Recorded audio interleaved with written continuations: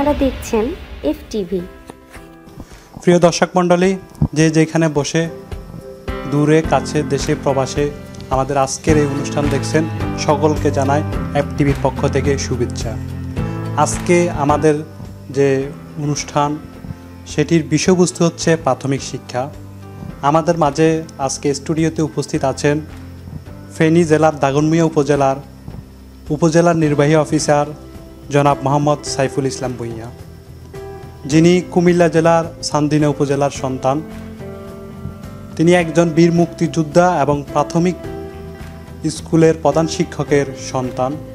আমরা আজকে ওনার সাথে কথা বলব। কেমন আছেন? ধন্যবাদ। আজকের দ্বিতীয় পর্বে আমরা জানতে চাইব প্রাথমিক শিক্ষার মূল প্রাণ শিক্ষক।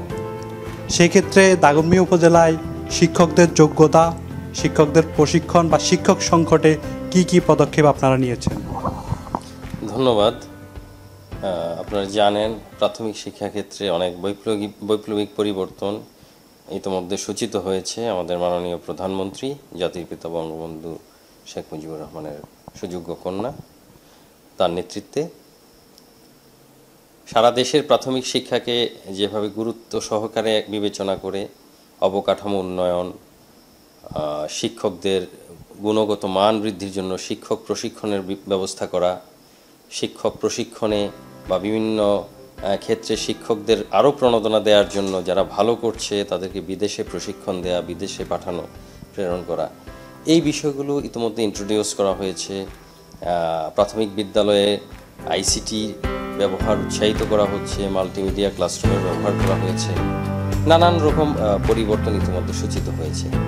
এক্ষেত্রে শিক্ষার সাথে যেহেতু শিক্ষকদের সম্পর্ক খুব ওতপ্রোতভাবে জড়িত, সেখানে শিক্ষক যদি গুণগত মান সম্পন্ন হয়, যথাযথভাবে প্রশিক্ষিত হয়, তাহলে কিন্তু প্রাথমিক বিদ্যালয়ে শিক্ষার মান বৃদ্ধি পাবে।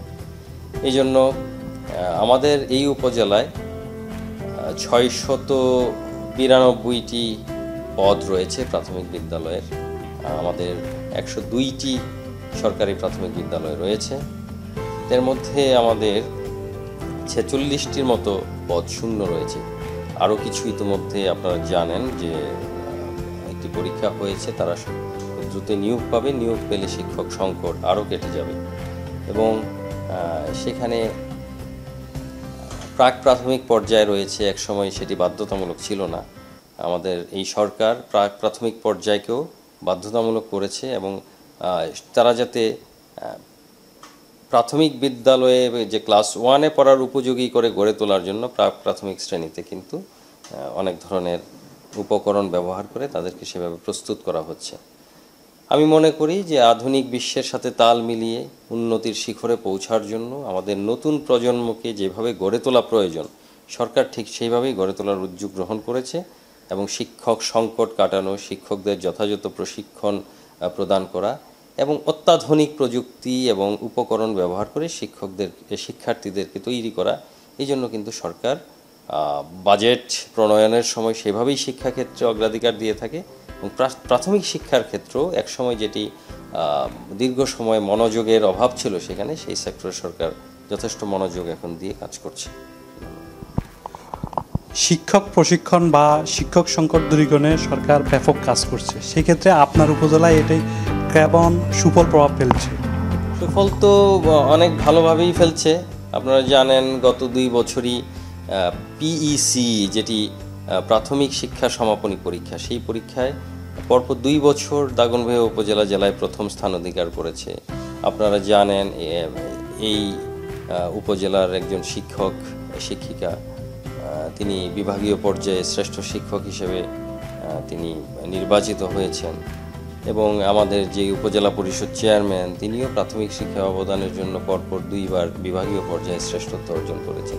এই বিষয়গুলি প্রমাণ করে যে এই উপজেলায় জনপ্রতিনিধি, শিক্ষক এবং প্রশাসন সম্মিলিতভাবে এবং এক্ষেত্রে বলতে হবে যে অভিভাবকদের ভূমিকা ও অভিভাবকদেরকে সচেতন করা, মা সমাবেশ, অভিভাবক সমাবেশের মধ্য দিয়ে সেই কাজটিও হচ্ছে এবং এর মধ্য দিয়ে এই উপজেলায় প্রাথমিক বিদ্যালয়ে শতভাগের কাছাকাছি কিন্তু আমাদের পাশের হার এবং নিরানব্বই দশমিক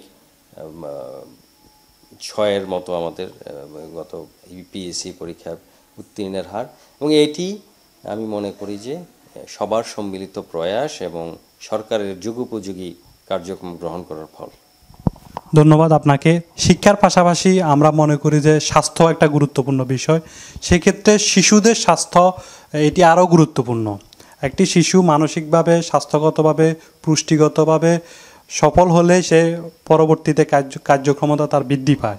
সেক্ষেত্রে প্রাথমিক বিদ্যালয়গুলোতে বা প্রাথমিক অঙ্গনে স্বাস্থ্য সুরক্ষায় কোনো পদক্ষেপ নিয়েছেন কিনা? ধন্যবাদ, খুবই গুরুত্বপূর্ণ প্রশ্ন। শিশুদের পুষ্টি এবং প্রাথমিক স্বাস্থ্য সম্পর্কে যে জ্ঞান, সেই জ্ঞানটি আসলে তারা পাবে অভিভাবক এবং শিক্ষকদের কাছ থেকে। আমরা মা সমাবেশ বা অভিভাবক সমাবেশের মাধ্যমে অভিভাবকদের সচেতন করছি যে কোনো জাঙ্ক ফুড কোনো রকম জাস্ট মানে রসনা বিলাসের জন্য যেই খাবার আছে, সেই খাবার যেটির পুষ্টিগুণ নাই সেই ধরনের খাবার যাতে শিশুদের না হয় না দেয়া হয়। পাশাপাশি যে সকল খাবার নানান রোগ জীবাণু তৈরি করতে পারে, সেই সকল খাবারও যেন তারা গ্রহণ না করে, সেই বিষয়ে তাদের মনোযোগ আকর্ষণ করা হচ্ছে, বিভিন্ন সচেতনতামূলক প্রশিক্ষণ দেওয়া হচ্ছে। তারপর এখানে কোনো দামি খাবার যে তার প্রয়োজন এমনটি নয়। আমাদের আশেপাশে অনেক পুষ্টিকর খাবার রয়েছে, যে একটা অপেক্ষাকৃত অর্থনৈতিকভাবে কম সচ্ছল পরিবারের সন্তানও কিন্তু আমাদের দেশের প্রেক্ষাপটে ভালো পুষ্টি নিয়ে এগোতে পারে। আর আমাদের এখন আমি মনে করি বাংলাদেশ আপনারা জানেন মানে পুষ্টির দিক থেকে এখন অনেক ভালো অবস্থায় রয়েছে। আমরা, আমাদের মাতৃমৃত্যুর হার, শিশু মৃত্যুর হার এগুলি অনেক কমিয়েছে এবং এই এমডিজির যে লক্ষ্য ছিল সেই লক্ষ্য অর্জন করে, করেছে বাংলাদেশ। আমাদের মাননীয় প্রধানমন্ত্রী সেজন্য পুরস্কৃত হয়েছেন। এখন এসডিজির লক্ষ্য বাস্তবায়ন এবং এখানে শিশুদেরকে, শিশুদের পুষ্টি এবং শিশুদের বিকাশের জন্য অনেক পদক্ষেপ কিন্তু গ্রহণ করা হয়েছে। আপনারা জানেন যে প্রাথমিক বিদ্যালয়ে বিদ্যালয়ে খুদে ডাক্তার কনসেপ্ট তৈরি করা হয়েছে। খুদে মানে শিক্ষার্থীদের মধ্য থেকেই একদল তৈরি করা হচ্ছে যারা বিভিন্ন ধারণা নিয়ে সেখানে তারাই কিন্তু শিক্ষার্থীর ওজন মাপা, উচ্চতা মাপা হ্যাঁ তার দৃষ্টিশক্তি পরীক্ষা করা এই বিষয়গুলি করছে। পাশাপাশি কৃমি নিয়ন্ত্রণ সপ্তাহ, ভিটামিন এ ক্যাপসুলের জন্য একটি বিভিন্ন সময় নির্ধারিত আছে, সপ্তাহ নির্ধারিত আছে। সেই সপ্তাহগুলিতে আমরা প্রাথমিক বিদ্যালয়গুলিতে নিয়মিত এই কার্যক্রমগুলি পালন করে থাকি। তো শিক্ষার্থীদের পুষ্টির বিষয়টি আমরা আসলে শিক্ষক, অভিভাবক সবাইকে এই বিষয়ে সচেতন করছি এবং বিশেষ করে তারা যাতে টিফিন বক্সে করে বাড়ি থেকে খাবার নিয়ে আসে, ঘরে তৈরি খাবার, পুষ্টিকর খাবার, সেই বিষয়ে আমরা উদ্বুদ্ধ করছি। মিড ডে মিলের ব্যবস্থা করা হয়েছে। তো এগুলির মধ্য দিয়ে আমাদের প্রাথমিক শিক্ষার ক্ষেত্রে শিশুদের পুষ্টি এবং তাদের মানসিক এবং শারীরিক স্বাস্থ্যের যাতে অগ্রগতি হয়, সেই বিষয়ে অনেক রকম, অনেক সরকারি কার্যক্রম এবং আমাদের স্থানীয় পর্যায়েও আমরা স্থানীয় উপজেলা পরিষদ, প্রশাসন, স্থানীয় জনগণকে সম্পৃক্ত করা, এই কাজগুলো আমরা করছি। ধন্যবাদ আপনাকে। আপনাকে আপনার অনেক মূল্যবান আলোচনা আমাদের শুনতে ভালো লাগছে, দর্শকদেরও আশা করি ভালো লাগছে। আমাদের অনুষ্ঠানের সময়সীমা শেষ হওয়ায় আজকে আমরা বিদায় নিতে হচ্ছে। আমাদের আলোচনায় অংশগ্রহণ করার জন্য আপনাকে ধন্যবাদ। আপনাকেও ধন্যবাদ। প্রিয় দর্শক মণ্ডলী আমাদের সাথে থাকুন। পরবর্তী অনুষ্ঠান দেখার জন্য আমাদের অ্যাপ টিভির সাথে থাকুন। ধন্যবাদ সকলকে।